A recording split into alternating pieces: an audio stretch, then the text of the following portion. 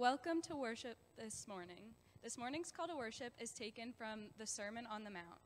In the Gospel of Matthew, Jesus teaches the disciples how to pray. Please stand and let us pray together as Jesus taught us to pray. Our Father, who art in heaven, hallowed be thy name. Thy kingdom come, thy will be done, on earth as it is in heaven. Give us this day our daily bread and forgive us our debts as we forgive. And lead us not into temptation, but deliver us from evil. For thine is the kingdom, the power, and the glory forever. Amen. Good morning, everyone. Please stay standing as we sing together All Hail the Power of Jesus' Name and then God So Loved. We'll sing the first three verses on All Hail the Power of Jesus' Name.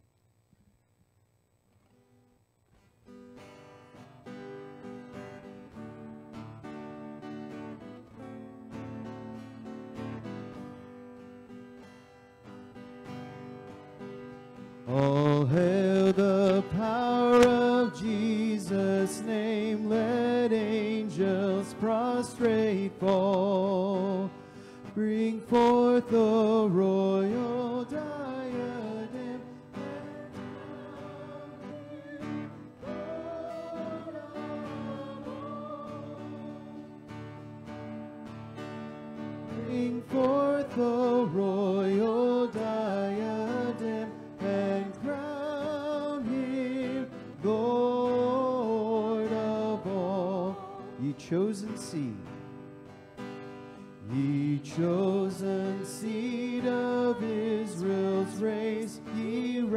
ransomed from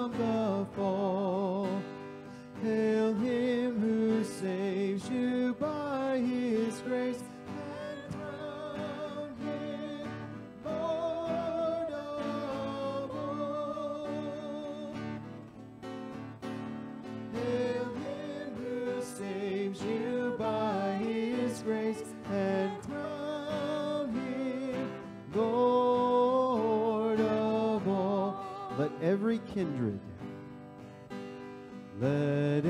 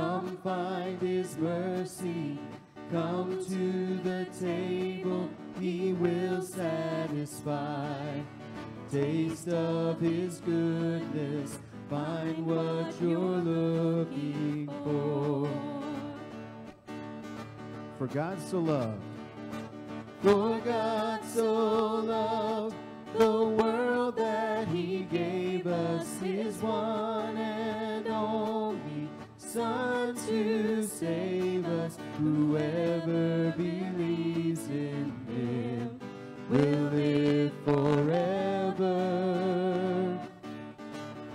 Bring all your failures. Bring all your failures. Bring your addictions. Come lay them down at the foot of the cross. Jesus is waiting there with open arms. For God so loved, For God so loved the world that he gave us his one Son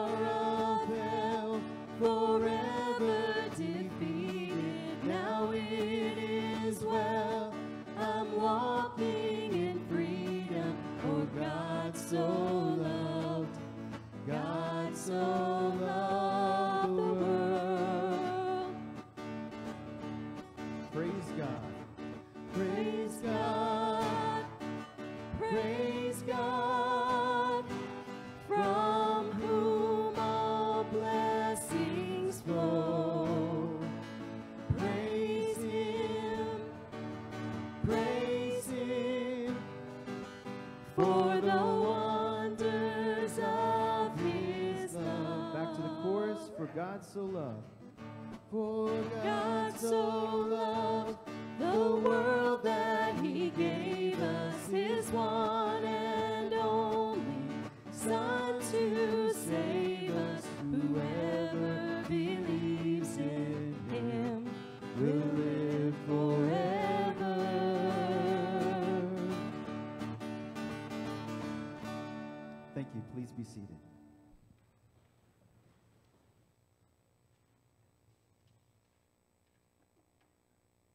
church. How are we doing this morning? Amen. It's so good to be together with you in person. And if you're at home joining us online, we're so glad you are with us and joining us online as well. We have a couple of quick announcements. It's a very busy day this morning. First, Father's Day is coming up. So we've got a couple weeks, the 19th. Especially Ben, if you're out there, it's coming up soon. Make sure it's on your calendars. Make sure you celebrate dads. Uh, but Father's Day sub sandwiches, please see any member of Women's Fellowship to purchase a sub sandwich. All proceeds are going towards the mission and support and outreach. So be sure to get your sub sandwiches early and often as we're preparing for Father's Day. Also, if you can tell, we have a little thing coming up called VBS.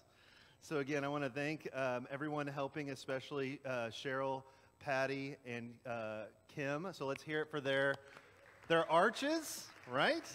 I mean, I was like, how in the world are they doing all this with a little bit of yeah? There you go, Patti's making sure that everybody can see all the stage at home. It, it, it, there's nothing like it here. And I was like, how in the world did they do this? So that's beautiful.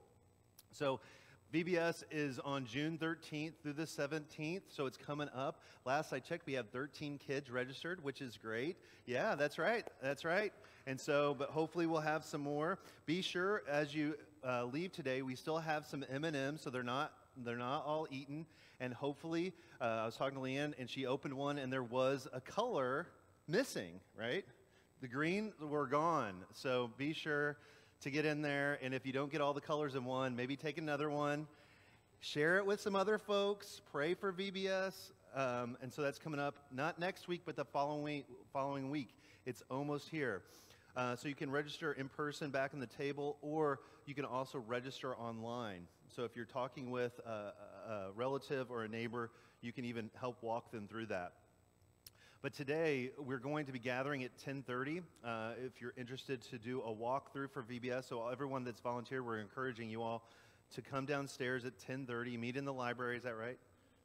Meeting in the sanctuary in the back. So be in here at 10:30. Uh, we're going to walk through the church, kind of walk through what's what's going on, and also pray over um, VBS this morning at 10:30. Um, so this morning is also an exciting day because we are going to be commissioning Jacob in just a minute, um, but we're also going to be having a reception after church in the fellowship hall. So those that are part of VBS, you need to hustle down, grab your donut, your coffee, and then come back up as we do our walkthrough. Um, and so we're going to uh, do a little bit of both today. So Jamie's pulling double duty as she's going to be leading people through the, the VBS walkthrough and then also uh, being received as well. Um, so that's going to be right following after the service, following the service, uh, is the reception for Jacob and Jamie. So now, as I mentioned, I'm going to ask Jacob to uh, step forward. Um, Jacob has been called by God in accordance with the faith and the faith and order of this church to serve among us. He's accepted his call and is before us in witness to his willingness to serve as music minister of Re- Redeemer Evangelical Church. It's a special honor and privilege to be entrusted with the responsibility for this service in the ministry of the church. I'm going to ask Jacob before the congregation to please affirm or uh, reaffirm his willingness to serve God and this church. Having prayerfully considered the duties and responsibilities of being music minister, are you prepared to serve with the help of God in Christ's name and the power of the Holy Spirit to the glory of God? If so, please respond with, I am. Do you promise to, to exercise the duties of your ministry diligently and faithfully, showing forth the love of Christ? If so, please respond, I do, relying on God's grace. I do, relying on God's grace. So now, members, I'm going to ask you to stand if you're able to stand.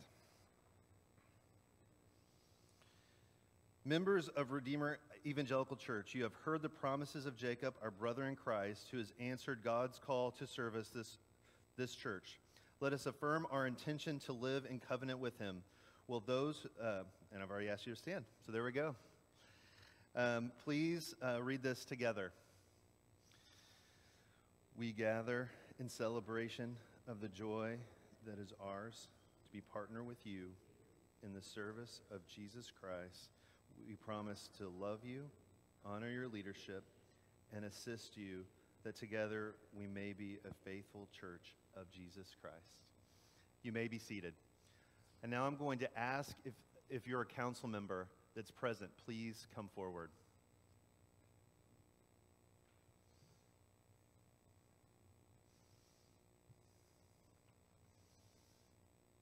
I'm going to ask you to actually come up, and if you feel comfortable, to, lay hands on Jacob.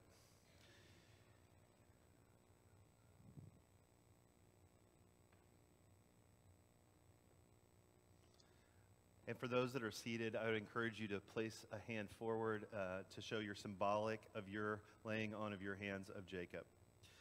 We, uh, we symbolically lay hands, and those on the council are laying hands.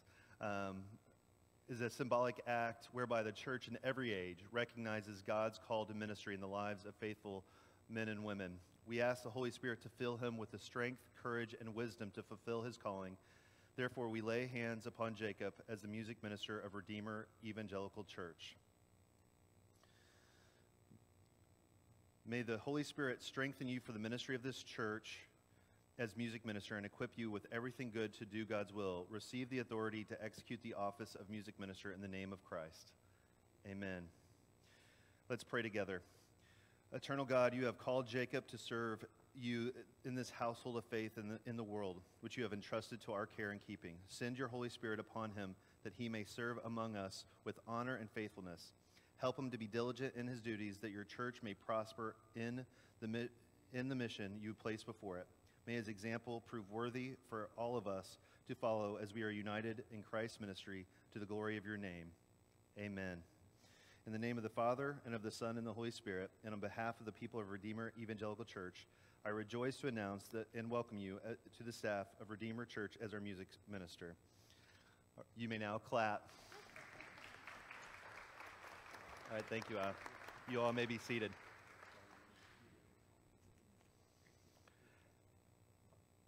And now, as our council members descend, I'm going to ask Jamie Pollard to ascend and to join us on stage. So, not only is uh, Jacob joining the staff, but he and Jamie have decided also to become official members of our church. And so this morning, Jamie and Jacob, after prayer and reflection, have been led by the Holy Spirit to come forward to become members of Redeemer Church. We ask all new members and current members are pledged the following Do you profess Jesus Christ as your Lord and Savior? If so, please say, I do. Do you promise to participate in the life and mission of this family of God's people, the Evangelical Church of the Redeemer, sharing regularly in the worship of God, upholding it by your prayers, your presence, your gifts, and enlisting in the work of his local church as it serves this community and the world? If so, please say, I will with the help of God. Uh, let us pray together. Or actually, I'm sorry. Let's, let's all stand if you are able to stand, and please repeat this um, after me. Let us, the members of Evangelical Congregation of the Redeemer, Redeemer, express our welcome and affirm our mutual ministry in Christ. So please say this with me. We welcome you with the common life of the church. We promise you our friendship and our prayers as we share the hope and labors of the Church of Jesus Christ. By the power of the Holy Spirit, may we continue to grow together in God's knowledge and love and be witnesses of our risen Savior. Let's pray together. Oh God, we praise you for calling us to faith and for the gathering us into the church of the body of Christ. We thank you for your people gathered in this local church and rejoice that you have increased our community of faith. Together, may we live in the Spirit, building one another up in love, sharing in the life and worship of the church, and serving the world for the sake of Jesus Christ. Amen. You may be seated. In the name of Jesus Christ and on behalf of the Evangelical Congregation of the Redeemer, we extend to you the hand of Christian love, welcome you into the company of this church family. Yay. Let's hear it for Jamie and Jacob. Thank you. Thank you, guys. And so now, we're not done yet. We still have prayers. So, as we're going to find out here in just a minute, in Acts, one of the acts of the apostles in the early church was to pray together, for the, uh, to say prayers for one another. Uh, so this morning, whether you're online, we'd love to hear from you as well. Uh, just mention it into the comments, and Patti will make sure that we uh, hear it here in the church. But if you have a prayer request or praise, we'd love to hear it. So please uh, just raise your hand, and I'd love to lift that up in prayer this morning. Kelly. Who does? Evie turns four today. Yay! Four is a big year. It's an even one. You're not quite in school. Almost. All those school days. What else? Harry.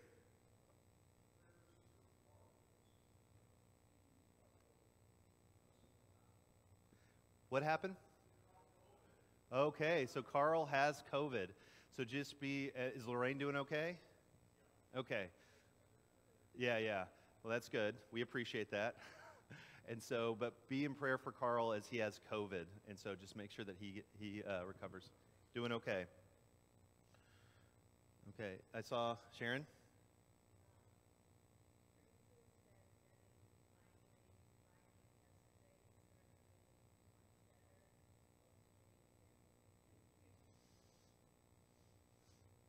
Yeah, so just praises that Denny started, especially on Friday, to doing better, and we just need to keep him on that track for Denny and for Sharon as well. So help Den- Denny to continue to recover well.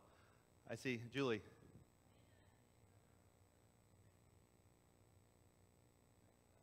So who's turning? To, wait, I've got two. We've got two birthdays, both 21. Were you guys born on the same day? Wait a second. What? Congratulations. What an exciting day that would have been. And 21. Glad you're here today. That's, that's impressive.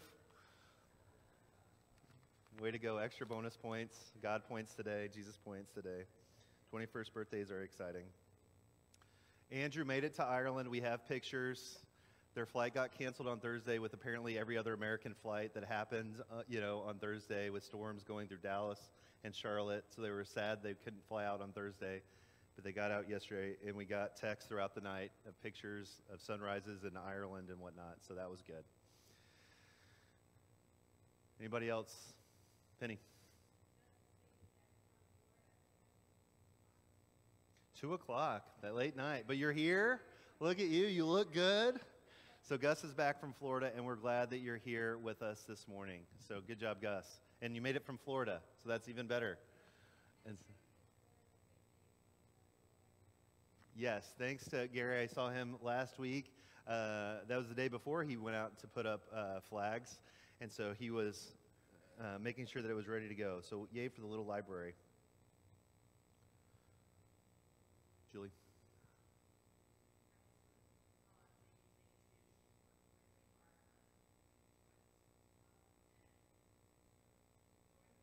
Yay, yes. We're, we're praising God for Jamie because she is helping uh, VBS to be a success already and very detail oriented, thank God, because I am not, as Patti well knows.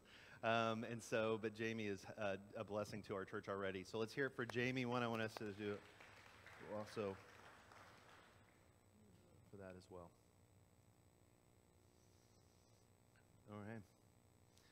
Well, let's pray this morning. Father, we thank you for such an exciting morning. We're, we're so thankful for Jamie and Jacob and bringing them to our church and all the gifts uh, that they, they are as people, but all the ways they're also able to uh, bless our congregation and our community. Father, we, we're so thankful for birthdays, whether you're turning four or 21, they're all exciting. And so we're so thankful that we can celebrate birthdays together as a congregation. Father, we lift up those that are still recovering. We pray for Carl, uh, and we pray for Denny. Father, that you would continue to help heal them and to restore their health. Father, uh, for those that are giving care, uh, we also lift those up as well to give perseverance and patience for the patients. Father, we also lift up Gus. We're so thankful that he is among us this morning. Thank you for safe travels, and thank you for, for being awake this morning after a long night. Father, we're so good, glad to be in the house of the Lord. We don't take that for granted, um, and so we are so thankful we can gather together this morning. And we pray all these things in Jesus' name. Amen.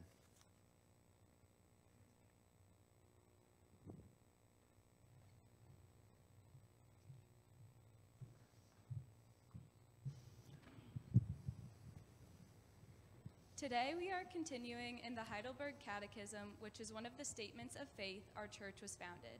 We are looking at the Lord's Day 35. Question 95 What is God's will for us in the second commandment? Answer that we in no way make an image of God nor worship him in any other way than has been commanded in God's word. Question 97 May we then not make any image at all? Answer God cannot and may not be visibly portrayed in any way.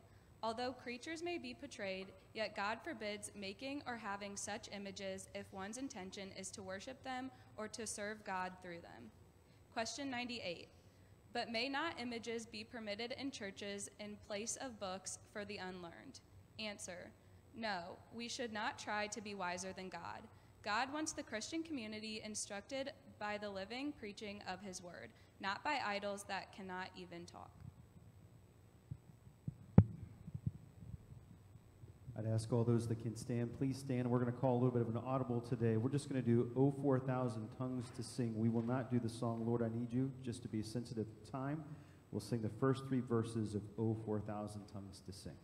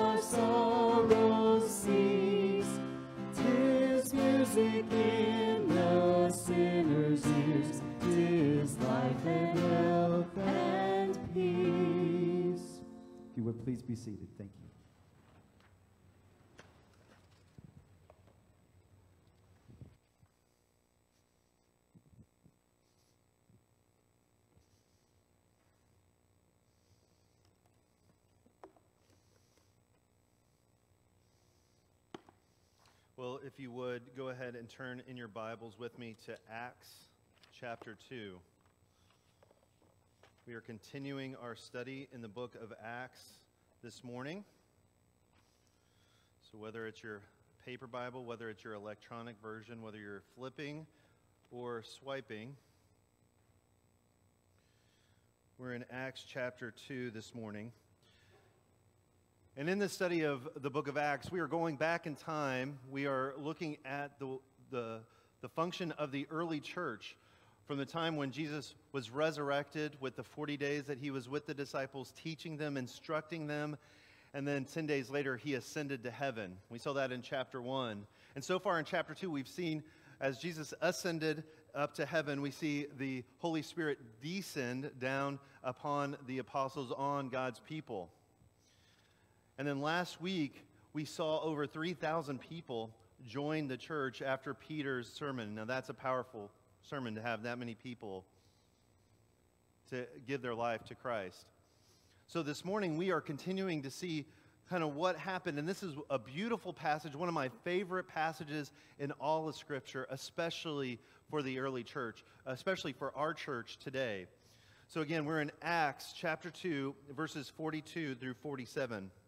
And it says this And they devoted themselves to the apostles' teaching and to the fellowship of the breaking of bread and prayers and awe came upon every soul, and many wonders and signs were being done through the apostles.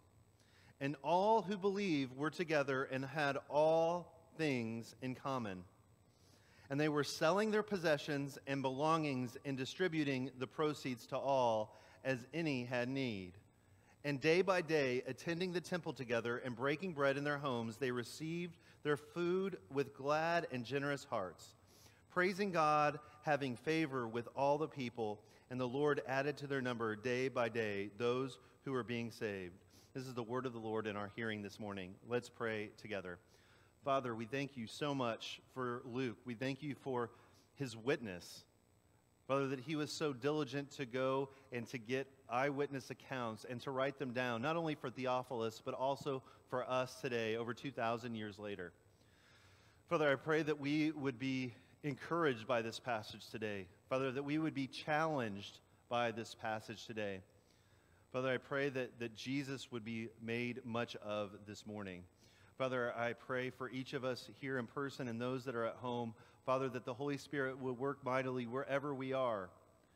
Father, that we would hear your voice and that you would give us all changed hearts this morning. And we pray all this in Jesus' name. Amen.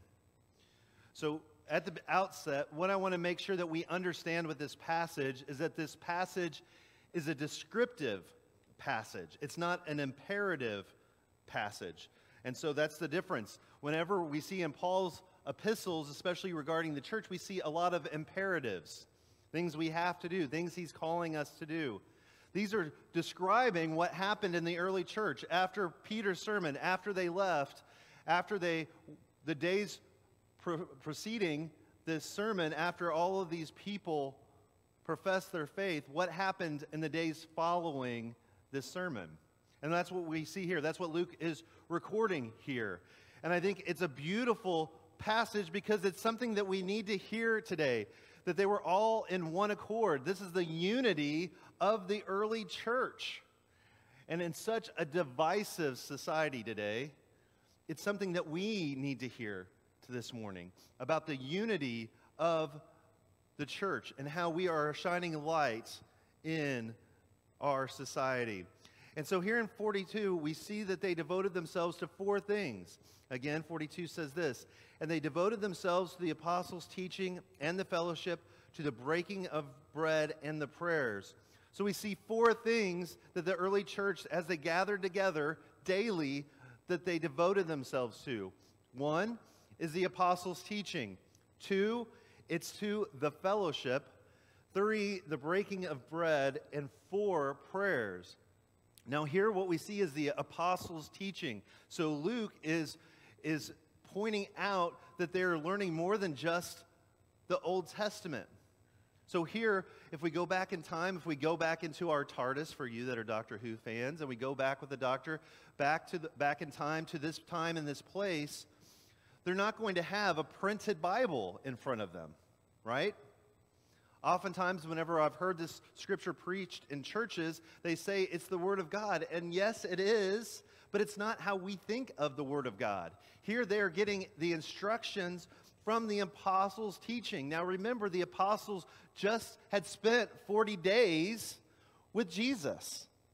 And in those 40 days, he was breaking down where he was throughout Scripture in the Old Testament, where he was in the book of Psalms, where he was in the book of Amos, in the book of Isaiah. All of these passages, Jesus was teaching them, and now they were teaching the brethren. Now, remember, a couple of weeks ago, we said there was at least 120 members that would have been able to form the council for this new sect of Judaism. And then there, now there's over 3,000 from this last sermon, right? And what we find out here is more people are being added daily. So we're talking about a lot of people. Now, all of these folks, all of these 3,000 that may have been raised in the synagogue as good Jewish little kids, they knew the Old Testament, but they didn't know about Jesus. They didn't understand how Jesus engaged with the Old Testament, where he was there. And so these are all baby Christians. These are all kindergarteners getting ready to start their education of who Jesus is. So this apostles' teaching is a very relational text because it's an oral tradition that the apostles just learned from Jesus and now they are passing on to the next generation of Christians, right? So they're understanding who Jesus is, and so they are enthralled about who Jesus is. How this all, how the beauty of Scripture and how God has planned everything to coincide so brilliantly. And so they, they're learning this daily. So they are listening to the apostles' teaching, which means that it's not necessarily all of just the apostles specifically teaching, but it's their teaching, their understanding. And so it's not just the apostles' teaching, but it's their understanding of who Jesus is, is going forward. The other important thing to understand is that these gatherings that we see here are not like what we're experiencing here this morning. They didn't have any church buildings. They had the temple that they would attend that we see later, but they were primarily doing all of these things in their homes. So as we look at small group Bible studies and as we, we, we plan those out, they are going to look more like this than this time of worship together, where we get together to study God's Word or the apostles' teaching, right? So here, each of these houses, each of these 3,000 that are scattered through, throughout Jerusalem and, and going back to where they came from, right? As we saw in, earlier in chapter 2, that they, they were from around the world. As they go back, these are the things that they're devoting themselves to. So they, they're devoting themselves to the apostles' teaching. We also see that they are, they are devoting themselves to the fellowship. And I love this part. Now, this Greek word here is koinonia.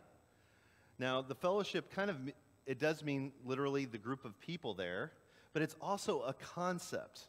This idea of koinonia, actually, this was a Hellenistic Greek uh, ideal that people would gather together and spend their times together, spend their days together, their meals together, and enjoy each other together. So, this fellowship is more than this, although you guys are great. What I think of whenever I think of the fellowship, I'm thinking of Lord of the Rings. Like they have a purpose, they have a common goal. They are setting off from, uh, from the elves to go get the ring and destroy the ring together. That is what these folks are. So, we, as we see Peter Jackson's slow pan of the whole fellowship going out, that is us this morning about how God is calling us all to witness to who Christ is, teaching others what we've been taught about the apostles' teaching, gather them, gather them amongst our midst. They are also called to break bread together, and we're going to be doing that this morning every time the, the believers got together, they broke bread. Now, if you read scholars, they like to have a healthy dialogue about this. Now, what did they mean breaking bread? Now, scholars disagree a little bit on whether they meant of actually literally having dinner together, because they did. They had meals daily together. They understood uh, that everybody needed to eat, and they would fix meals together. They would clean dishes together. They would have the breaking of bread together. But other scholars would also say the wording here intentionally of breaking bread is of the Eucharist or the Lord's Supper. that every time they would get together, even though it was daily, they took what Jesus said literally, and every time they gathered together, they remembered Jesus' death until he came, right? So here we have the apostles' teaching. They were, they were feeding their mind, so to speak. And then they were also meeting together with the fellowship, encouraging each other uh, in the fellowship. So they were, they were feeding themselves relationally and emotionally, right? And now they're feeding themselves spiritually by breaking bread together, reminding themselves of the importance of Jesus and who he is and what he's done, and celebrating his death and resurrection and ascension, right? So that's the breaking of bread. And then we also see the prayers. Now, the prayers of the other church. This isn't singular. This isn't a prayer. This isn't a liturgy. This isn't the Lord's Prayer, as much as it's good to hear the Lord's Prayer in service. But this is the prayers of the people. And even, and I'm not going to go through this through that this this morning, but one of the things I did print off um, is prayers of the earliest Christians. So here's several pages of early prayers that they had. So if you're interested, I did my homework, and you can check my homework. Um, but we don't have time to go through all of these prayers this morning. But these prayers were vital in, in together praying for one another and praying for wisdom, praying for perseverance and strength for the new church.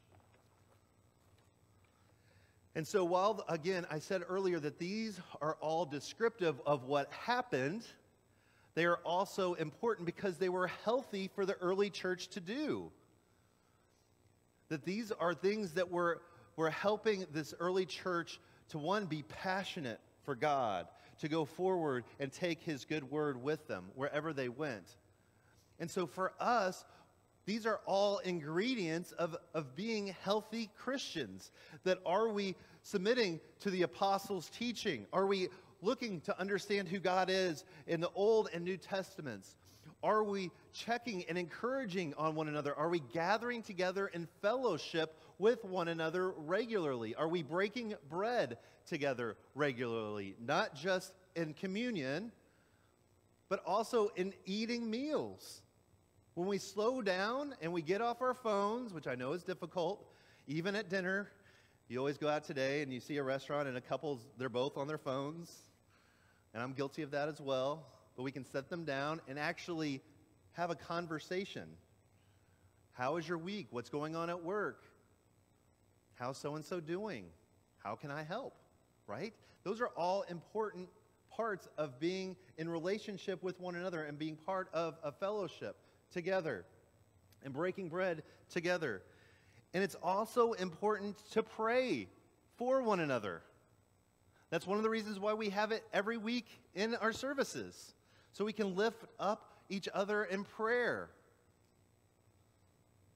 And so these are important aspects to the fellowship, to the early church, and we need to learn on how, ask the question, are we accomplishing those or not? Verse 43 And awe came upon every soul, and many wonders and signs were being done through the apostles. So here we see that the apostles were doing uh, different miracles. We just uh, saw a healing, or we will be seeing a healing next week. And so, and we're going to see even later on, even as people, as Peter walks by them, his shadow, even as his shadow falls on, on people, they are healed. These are miraculous things that we don't always experience today. But with the, the coming of the Holy Spirit, with people speaking in tongues, with people devoting themselves to one another, people are a little freaked out. Like, what is happening? Is this the end of the world? I don't know what's happening. Because this, this word awe here actually is the Greek word phobos or phobia that we like to hear, right? So they are afraid and freaked out about what's happening. They're seeing people speak in different languages, they're seeing these healings, and so they are intrigued and that is inspiring them, and that is focusing their worship to understand that God is a, an extraordinary God. Our friend Merriam Webster uh, defines awe as an emotion variously uh, combining dread, veneration, and wonder that is inspired by authority.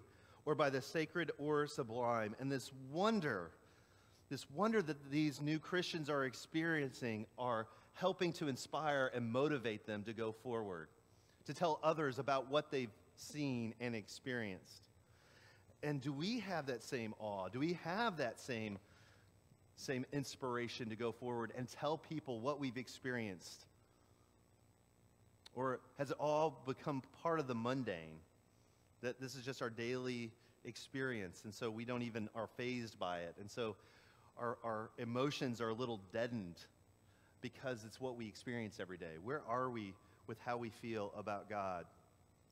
Verse 44 and 45 says this And all who believed were together and had all things in common, and they were selling their possessions and belongings and distributing the proceeds to all as any has need. So, what this says is y'all need to go home and sell your houses and cars, boats, and bring it and give it back to, and donate it all to the church. Hey, it's all good, it's tax deductible, but we appreciate your donation.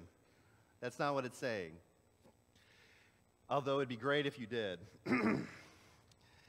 what this means, first of all, it means that there is a trust and unity in the church, in the early church, that we haven't, that we don't always experience today. Because it says in 44, all who believed were together and had all things in common. Now, did they agree on everything? No. But it means that their priorities is what's driving them. These are the things that they held in common. These are the things that they cared about and they were motivated by. So they didn't let politics get in the way. They didn't let sports teams get in the way. They didn't let squabbles about possessions get in the way. They had all things in common. They were all motivated by God and what He was doing in them and around them. That was what was motivating them. And because they were so relational, they cared about what everyone else around them was experiencing. Life was difficult then, just as it's difficult now. People were still hungry, they still had needs. And as they're eating together and talking with each other, they're understanding what needs are there. And so they're becoming a family. And what do families do? They meet each other's needs. And so what do we see is in 45 is they started selling their possessions and belongings and distributing the proceeds to all as any had need. So this one, we need to understand that this this camaraderie, this unity, this familial dynamic that we're seeing has three components. We see one, it has vulnerability. Yikes. Anybody just like tense up a little bit like vulnerability? I don't like that word. I have to share that I'm not perfect, that I can't do everything on my own, and that I either need help completing a project that I've been working on, sharing that, hey, I have this stressor that keeps stressing me out that I can't get rid of. Maybe it's a physical ailment that I need to share, that I need prayer for, that I don't want to share. But it's all me being vulnerable and trusting those people around me that they're going to keep it in confidence, they're going to lift me up, and they're going to support me. They're going to be there whenever I share it. They're not going to mock me for it. They're not going to disregard it as not important. They're not going to say, I'm going to pray for you about that, and then just not follow up on that. Not that Christians ever do that. They have to be vulnerable. There's a sincerity around them. They actually want to hear how everyone else is doing. They want to actually be engaged with them and what's going on in their lives. They're sincere about that. They're being authentic, who God is calling them to be, and they're putting everything out on the table. That's scary. I don't know about you, but to do all of those things, what these folks in the early church were doing was extremely trusting not only in God, but those people around them, and many of them they didn't even know all that well, right? But they had all things in common. Now, one a couple of things that I want to make sure that a, as I hear people talk about this passage, that we see. Now, this isn't a form of communism or socialism. Because I see this, the people ask about this, especially in, in political means. Now, this isn't a political stance. They're not, this isn't even a command. We're going to talk about this next week with Ananias and Sapphira. They're going to, and I know spoilers, I know it's always bad to get spoilers. They ruin friendships and youth groups, as I've been told. But, but spoiler alert, next week we find out that God is going to kill two members of this community because they don't give all their stuff. Now, is God killing them because they don't give all their stuff? No. Peter's going to be very clear about that. They are lying about what they're giving because they're still holding on to wanting that autonomy, that control. They don't want to give it to God. They don't really trust God. They don't really trust everybody else, which is going to grow division among them, right? And schism between them and potentially the church. So God's not against private property. We don't see that here, although I've heard that said. He's not talking about that everyone is required to give everything to the church. He's not saying that that all of these folks relationally are give, going and selling what they had and giving it to the church for other people, willingly, volitionally. They're not even getting a tax break for it. Now, do they have 30 year mortgages? No. Do they have cars? No. Is it all that they have? Yes. Right? So we should be inspired and challenged by these folks here to be able to give so generously and willingly. Because you know what? I'm not like these folks. I'm not willing to give up my house and my air conditioning. And so may this be an inspiration and challenge us this morning. 46. And day by day, attending the temple together and breaking bread in their homes, they received their food with glad and generous hearts, praising God and having favor with all the people. And the Lord added to their number day by day those who are being saved. This is one of the fascinating parts of my study. I love Scripture. I always find new nuggets that I never saw before. And that's what I saw here is they were attending temple together, right? That was a little like, what is going on? If someone said, "Hey Jeff, did you did, if you did you go to temple this week?" I'd be like, "No." So, what's going on? Why are they attending temple? One, it's because they're teaching the Old Testament, right? They're still doing prayers. They're still gathering together. They are still keeping some of these same practices, going into God's temple and praying and participating in some of the actions that Jewish people were accustomed to here. They were still going to temple together. They were still meeting people. They were still drawing them to Christians. And scholars say that actually, that at this time, the Christians in the Jewish community were seen as helpful. And they were a part of the community. And they weren't seen as divisive at this particular time because they were attending the temple together. And so this was part of their daily practice is that they would say, hey, you want to meet up at temple together before we go to dinner? You sure, let's go there. And then they would go back to their homes. They would have, they would fix dinner. They would break bread together, right? And this was part of their daily dialogue. So they'd work, temple, break bread. Very simplistic. It's almost like a Friends episode. They're going to Central Perk after they get done with work, right, and gather together. And then it says they received their food with glad and generous hearts. Why? Because they didn't have as many stressors. They knew that people had their back. They knew that they weren't going to have any needs that God was providing their daily bread. They were able to eat it and break it. And so all of their needs, physical, emotional, social, were being met. This is beautiful.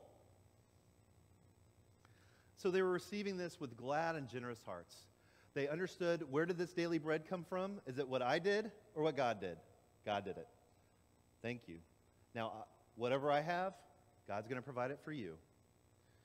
And so what we see is they also understood that what's one of the key words here at this last sentence? Who added to their number day by day? Was it Peter's preaching?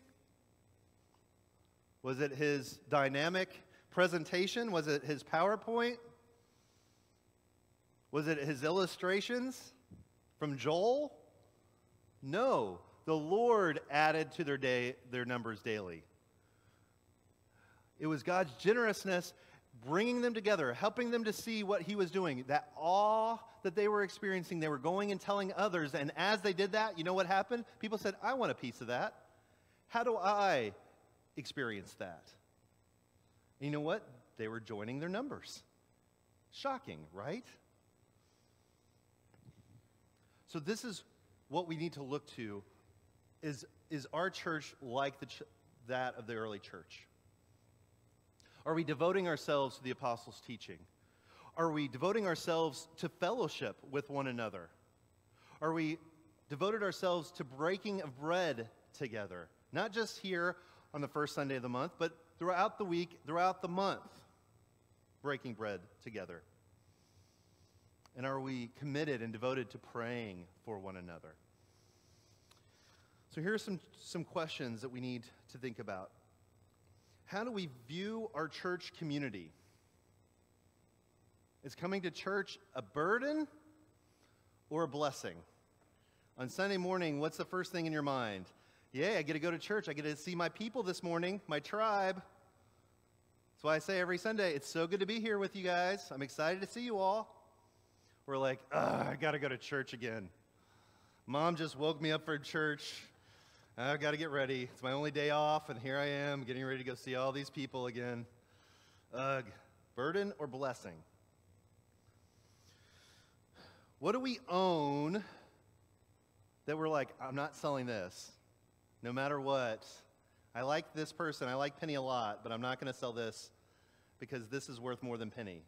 What is that that I own that is more valuable than anybody else? Because we wouldn't say that. I'm not going to say, hey, I'm not going to sell my car for Penny. But if Penny needed it, would I be willing to? Something to think about. What do we believe whenever we invite people to church? What are we inviting them to? Is it just the apostles' teaching? Most churches, they, they focus on a couple of these, but not all of them, right? So sometimes we view church as the apostles' teaching. You're coming to hear a seminar every Sunday morning to be educated, to learn more about the Bible, and that's what we're inviting people to. Are we inviting people to a good concert? Right, Jacob? Right, con- good concert? Good music? Some guitar? You, you and Jocelyn play. I'm trying to get a banjo for you all. That's, that's on my to do list.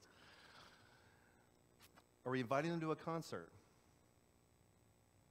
Or are we believing that we're inviting them to the fellowship to be part of our lives so they have people to care for them and to show them and teach them who Jesus is and that they have someone to have their back.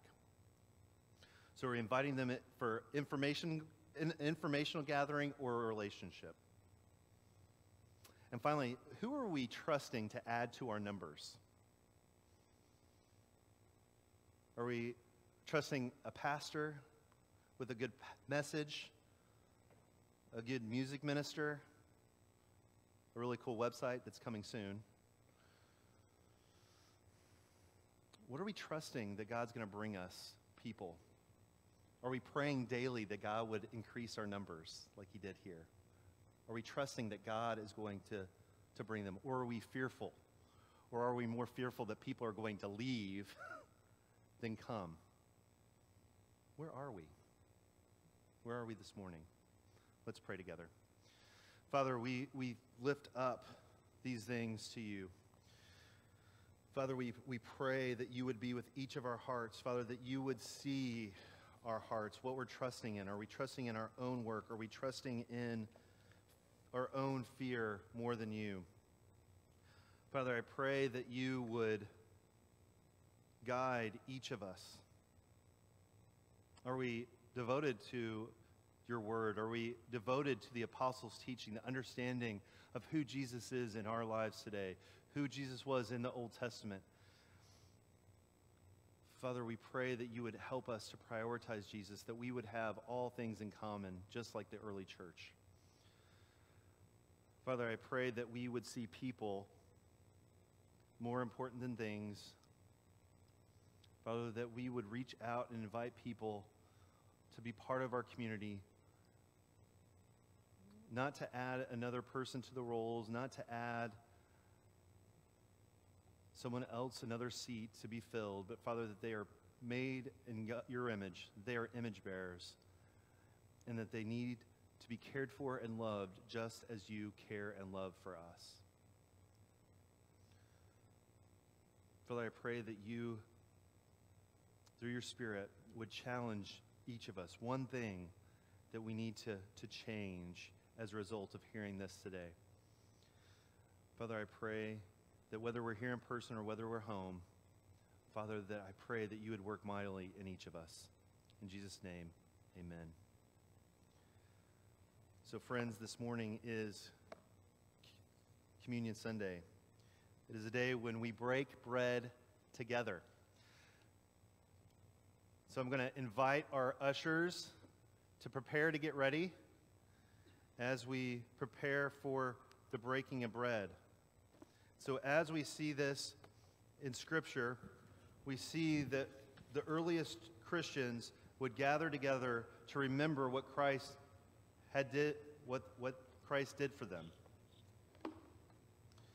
And so as we take communion together, this is an act of faith. This is an, a time when we remember what Christ did, that he lived the perfect life that we're supposed to live, that Christ died the death that I was supposed to die because of my sin, that Jesus defeated death as, and is inviting me to join him in his resurrection.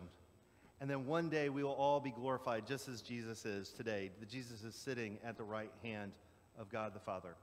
So, here in a moment, I'm going to invite the ushers forward. We're going to have a time of corporate confession of sin. And the ushers will, will pass out the elements, the bread and the juice. And then as we reflect, as we, re- we have time, let's reflect on our confession of sin. We reflect on the early church and where we are. And then as they come back, we will have an assurance of pardon, and then we will hear the institution, and then we'll eat and drink together. So, ushers, please come forward.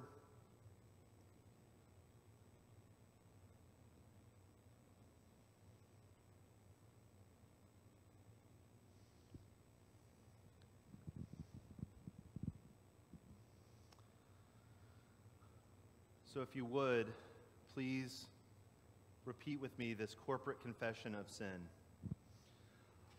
Almighty God, we acknowledge and confess that we have sinned against you in thought, word, and deed. We have not loved you with all of our heart, soul, mind, and strength. We have not loved our neighbor as ourselves. Deepen within us our sorrow for the wrongs we have done and the good we have left undone. Lord, you are full of compassion and gracious, slow to anger and plenteous in mercy. There is always forgiveness with you. Restore to us the joy of your salvation. Bind up that which is broken. Give light to our minds, strength to our wills, and rest to our souls. Speak to each of us and let your word abide with us until it has wrought in us your holy will. Amen.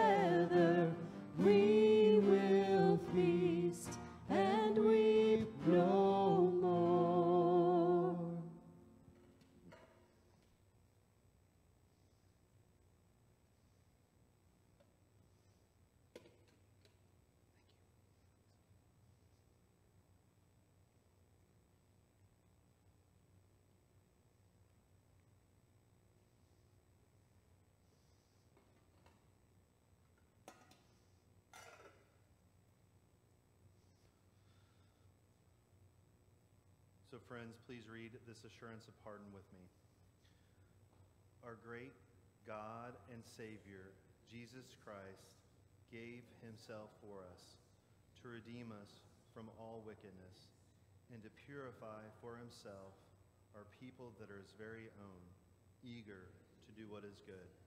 Thanks be to God for this inexpressible gift. Amen. On the night that Jesus was betrayed, he took the bread and he broke it.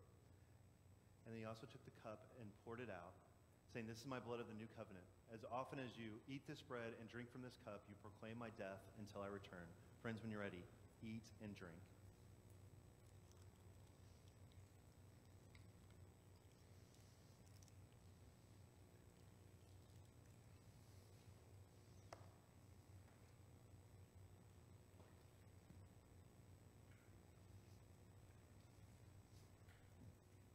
Stand for those who are able to stand as we sing Come Thou Fount. We'll just sing with the first verse only Come Thou Fount.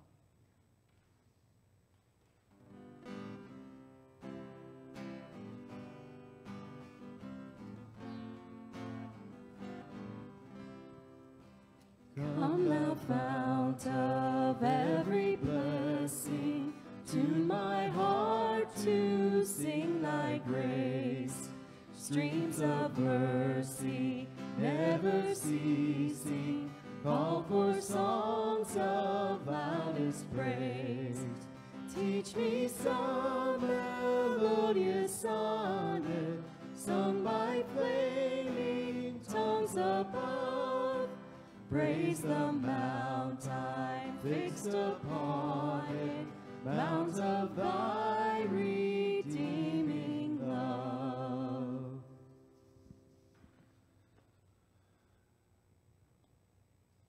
it has been a blessing to be with you here in, a, uh, in person and at home. We're so glad you could join us. Be sure uh, to join us downstairs uh, to welcome Jamie and Jacob, and then come back upstairs at 10:30 for our VBS walkthrough and prayer. Be sure to grab some M&Ms. Hopefully, you'll get some green ones this time, Leanne. And then we're so glad uh, to be together. Uh, today, our benedictions found in Jude 24, verses 24 and 25 says this Now to him who is able to keep you from stumbling and present you blameless before the presence of his glory with great joy, to the only God, our Savior, through Jesus Christ our Lord, be glory, majesty, dominion, and authority before all time and now, forever. Amen. Go in grace and peace this morning.